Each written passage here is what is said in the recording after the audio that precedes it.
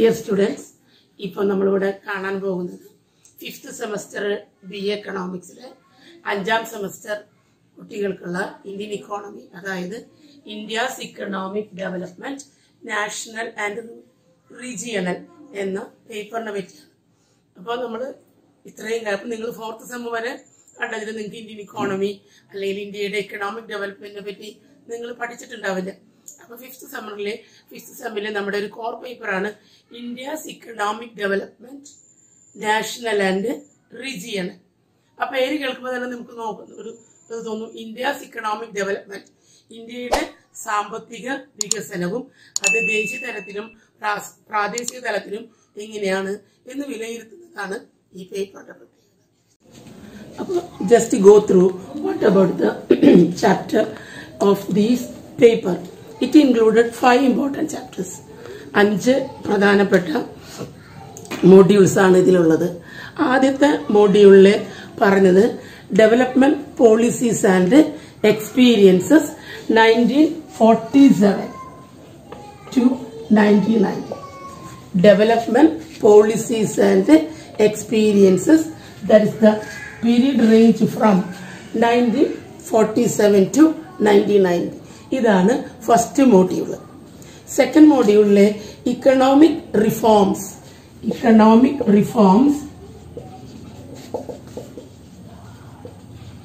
since nineteen ninety one ഇതാണ് രണ്ടാമത്തെ module economic reforms since nineteen ninety one ഇനി മൂന്നാമത്തെ മോഡ്യൂൾ എന്ന് പറഞ്ഞാൽ gross domestic product G D P gross domestic product included agriculture and industrial development.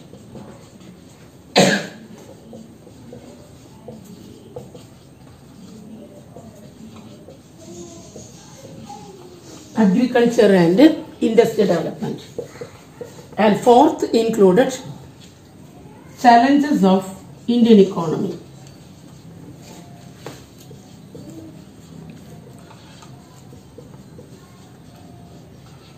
Related poverty and unemployment.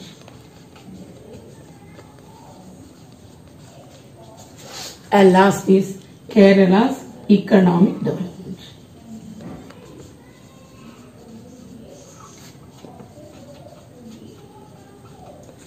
These are the five important chapters. First, we analyze what about your paper. Your paper's India's economic development. That is, what about the important factors determine India's economic development or economic development of Indian economy. So, just go through what about the national level and what about the local level. This is explained with the help of five important modules which are the important module here. The first policy, that is first important module, module is that development policies and experience. Development policies and experience. Just include a specific period 1947 to 1990.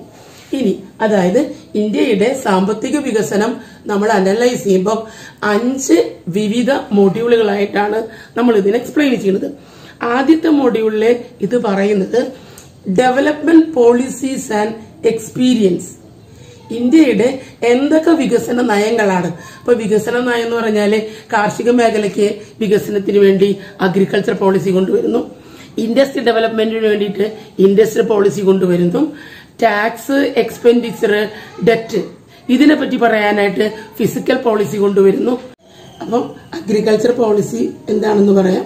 Agriculture ഡെവലപ്മെന്റിന് വേണ്ടി industrial policy physical policy etcetera അപ്പൊ these are the so many policies undertaken by the government നിങ്ങൾക്കറിയാം policy സർക്കാർ മാത്രമേ എടുക്കാറുള്ളൂ. സർക്കാർ എടുക്കുന്ന ഇതിനെയാണ് നമ്മൾ ഇത് വിളിക്കുക നയങ്ങൾ പോളിസികൾ എന്ന് പറയാം. അപ്പൊ ഇതാണ് ഒരു വശം. രണ്ടാമത്തെ വശത്തോട് കടക്കുമ്പോൾ development policies and experiences experiences shows that government introduce so many policies what about the practical side of these policies അതായത് നമ്മൾ പല പരിഷ്കാരങ്ങളും പല പോളിസികളും പല നയങ്ങളും കൊണ്ടുവന്നു. ഇതിന്റെ പ്രാക്ടിക്കബിലിറ്റി പ്രായോഗിക വശം എന്താണെന്ന് വിലയിരുത്തുക. ഇതാണ് experience what about the practical side of these economic policies introduced by the government ഇതിനെ ഒരു സ്പെസിഫിക് പീരീഡ് പറയുന്നുണ്ട് nineteen forty seven up to nineteen ninety That is the importance of 1947. You are so familiar. That's a period of independence. ഇൻഡിപെൻഡൻസിന്റെ കാലഘട്ടമാണ് nineteen forty seven up to the period of nineteen ninety that is before the period of N E R N E R means new economic reforms or new economic policy N E P നമുക്ക് പറയാം N E R അതായത് new economic policy വരുന്നതിന് മുൻപുള്ള അതായത് ഏതൊരു economic സ്റ്റുഡൻസിന് അറിയുന്ന കാലഘട്ടമാണ് നമുക്ക് വളരെ സുപരിചിതമാണ് നയന്റീൻ നയന്റി വണ്ണിലെ ന്യൂ ഇക്കണോമിക് പോളിസി കൊണ്ടുവന്നു അപ്പൊ അവിടം വരെ അതുവരെ എന്ന് പറഞ്ഞാൽ നമുക്കറിയാം തൊണ്ണൂറിന് മുൻപ് എന്ന് പറഞ്ഞാൽ that start from nineteen fifties introduce Indian nineteen fifties that is the introduction part of economic planning അതായത് first five year plan start ചെയ്തതാണ് നയന്റീൻ ഫിഫ്റ്റി വണ്ണിൽ അപ്പം അമ്പത്തൊന്ന് തുടങ്ങി തൊണ്ണൂറ് വരെ എന്തൊക്കെ കാര്യങ്ങളാണ് എന്നുള്ളതാണ് നമ്മൾ ഇതിൽ വിലയിരുത്തുന്നത്. ഇതാണ് ആദ്യത്തെ ചാപ്റ്റർ ആദ്യത്തെ മോഡ്യൂൾ വരുന്നത്. രണ്ടാമത്തെ മോഡ്യൂളിൽ that is just economic reforms since nineteen ninety one അപ്പം ഫസ്റ്റ് മോഡ്യൂളിൽ നയന്റീൻ നയന്റി വരെ നമ്മൾ എത്തിച്ചു. രണ്ടാമത്തെ പരീഡ് പറഞ്ഞപ്പം ന്യൂ ഇക്കണോമിക് റിഫോംസ് അതാണ് ഞാൻ ഇവിടെ എഴുതിയത് N new economic reforms since nineteen ninety one തൊണ്ണൂറ്റൊന്നിന് ശേഷം എന്തൊക്കെ കാലഘട്ടങ്ങളാണ് അല്ലെങ്കിൽ അല്ലെങ്കിൽ സോറി എന്തൊക്കെ വികസനങ്ങളാണ് കൊണ്ടുവന്നിട്ടുള്ളത്? ന്യൂ ഇക്കണോമിക് റിഫോംസ് എന്ന് പറഞ്ഞാൽ പല പരിഷ്കാരങ്ങളും സർക്കാർ ആവിഷ്കരിച്ചിട്ടുണ്ട്. ഇതുകൊണ്ട് എന്തൊക്കെ നേട്ടങ്ങളാണ് അല്ലെങ്കിൽ എന്തൊക്കെ ഡെവലപ്മെന്റ്സ് ആണ് ഇന്ത്യയ്ക്ക് ഉണ്ടായത് എന്ന് വിലയിരുത്തുന്നതാണ് രണ്ടാമത്.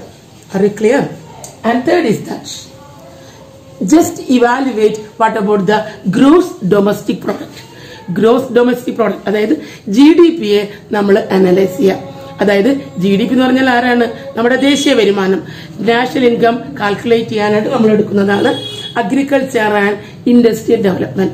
ഇതാണ് മൂന്നാമത്തെ ചാപ്റ്ററിൽ വരുന്നത്. Agriculture development and industrial development. At the same time which are the are the created by these sectors to G D P G D പിയിലോട്ട് ഇവർ എന്തുമാത്രം സംഭാവന ചെയ്യുന്നു എന്നുള്ളതാണ് നമ്മൾ മൂന്നാമത്തെ ചാപ്റ്ററിൽ വരെ അപ്പം ഈ കാര്യങ്ങളും നമ്മൾ ഫോർത്ത് സെമ്മ് വരെ ഡിഗ്രിയിൽ നമ്മൾ കണ്ടിട്ടുണ്ടാവില്ല. അപ്പൊ ജി ഡി പിയിൽ എന്തുമാത്രം ഇവർ സംഭാവന ചെയ്യുന്നു? ഇതാണ് മൂന്നാമത്തെ ചാപ്റ്റർ നാലാമത്തെ ചാപ്റ്ററിലോട്ട് കടക്കുമ്പോൾ which are the important current challenges എന്തൊക്കെ ചലഞ്ചസ് ആണ് ഇന്ത്യൻ ഇക്കോണമി ഫേസ് ചെയ്യുന്നത്? പ്രത്യേകിച്ച് what about poverty and what about unemployment പോവർട്ടിയും അൺഎംപ്ലോയ്മെന്റും വിലയിരുത്തുക. ഇതിനെയാണ് challenges current challenges faced by Indian economy and last is that Kerala's economic development കേരളത്തിലെ സാമ്പത്തിക വികസനവും നമ്മൾ വിലയിരുത്തുന്നുണ്ട് ഇന്ത്യയുടെ സാമ്പത്തിക വികസനത്തെ പഠിക്കാനായിട്ട്. These are the five important modules are included this paper then we go to the first module these are the first that is these are the five important modules which are included in indian economy or that is the paper name is that india's economic development national and regional dear students നിങ്ങൾക്ക് എന്തെങ്കിലും സംശയങ്ങളൊക്കെ ഉണ്ടെങ്കിൽ നിങ്ങൾ ആ comment ബോക്സിൽ ഇടുക. അതായത് എന്തെങ്കിലും നിങ്ങൾക്ക് ക്ലാരിഫിക്കേഷൻ വേണം മനസ്സിലാവാത്ത എന്തെങ്കിലും കാര്യങ്ങളുണ്ട് അല്ലെങ്കിൽ മിസ് മലയാളത്തിൽ പറഞ്ഞു തരേണ്ട എന്തെങ്കിലുമൊക്കെ ഉണ്ടെങ്കിൽ നിങ്ങൾ എന്ത് ചെയ്യണം? നിങ്ങൾ ആ കമന്റ് ബോക്സിൽ കമന്റ് ഇടുക. ഇനി ഇതിന്റെ നോട്ട്സ് ഞാൻ ഡിസ്ക്രിപ്ഷൻ ബോക്സിൽ കൊടുത്തിട്ടുണ്ടാവും. നിങ്ങൾ ചാനലിൽ നോക്കിക്കഴിഞ്ഞ് നിങ്ങൾക്ക് കിട്ടുക ഡിസ്ക്രിപ്ഷൻ ബോക്സിൽ ഞാൻ അതാത് ദിവസങ്ങളെ ക്ലാസ് എടുത്തതിന്റെ നോട്ട്സ് കൊടുത്തിട്ടുണ്ടാവും.